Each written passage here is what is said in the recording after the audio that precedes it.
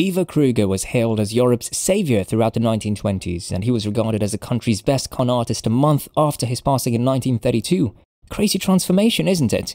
John Kenneth Galbraith referred to Ivar Kreuger as the Leonardo of the trade of boiler room operators, brokers of stocks in made up Canadian mines, and mutual fund managers with an unrestrained sense of brilliance and imagination. But he later became a well known fraudster Want to know about him? Then stay tuned till the end. In Kalmar, Sweden, Ivar Kreuger was born in the year 1880. His father and uncle already owned two small match factories, therefore the family was already involved in the industry. In 1908, he founded the construction firm Kreuger and Toll, but Ivar Kreuger earned the nickname Match King because he returned to sell matches and had the global match monopoly for a very long time. Ivar Kreuger took over his father's match company and merged it with other small independent match companies using money acquired via Kreuger and Toll. Following that, the firm merged with its biggest rival in the middle of the First World War's supply disruptions brought on by blockades and a lack of ships.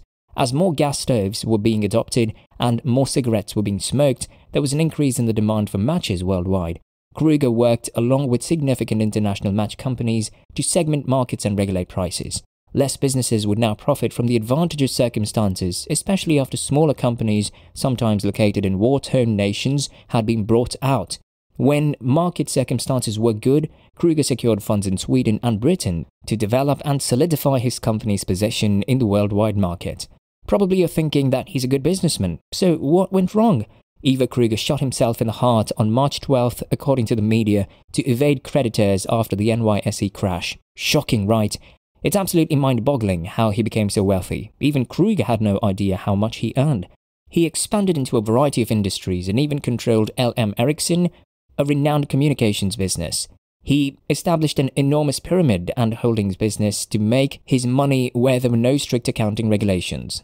Ivar expanded until he was bigger than the state and then began to determine the fates of other European states with his generous personal loans, seriously damaging political systems and governments.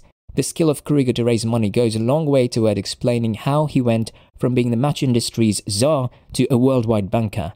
Ivar Kreuger began lending money to governments in the middle of the 1920s in return for a permitted monopoly on the manufacture of matches. The Kreuger loan would be secured and its installments would be made by taxes levied on matches or royalties collected from match sales. A Kreuger loan would appear to avoid the typical dispute between a lender and a debtor, since both parties would profit from maintaining the monopoly. In exchange for a partial monopoly, Kreuger agreed to grant the French government a $75 million loan in 1927 at a rate that was lower than what the markets would have offered. The business had established similar agreements with nine European nations and three South American ones by 1930. Even still, Kreuger's businesses borrowed heavily, totaling almost $500 million between 1925 and 1931. Even huge countries' public borrowings couldn't compare to this sum. Investors were promised extremely large dividends on Kreuger's shares. A 30% dividend was being given by Kreuger and Toll on its paid-in share capital. Comparatively, sovereign lending served as a way to join the local match market.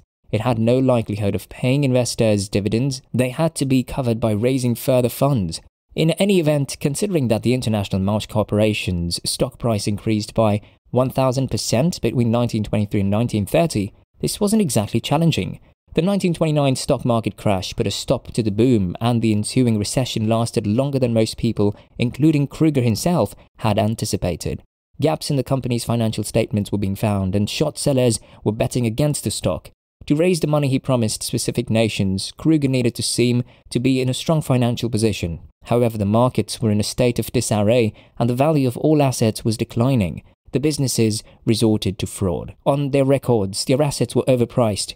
Nevertheless, creditors requested fresh collateral out of a legitimate worry over the decline in the value of securities held. Kreuger faked $142 million in Italian government bonds to satisfy their demands. After a few months, the purchaser, International Telephone and Telegraph, discovered that Kreuger had made false representations about the company's liquidity condition. They asked that he repurchase the shares, but Kreuger was out of cash. Greater scrutiny of his businesses and a lack of funds to meet his immediate needs led to Kreuger's suicide in a Paris flat in March 1932. What a destiny, right?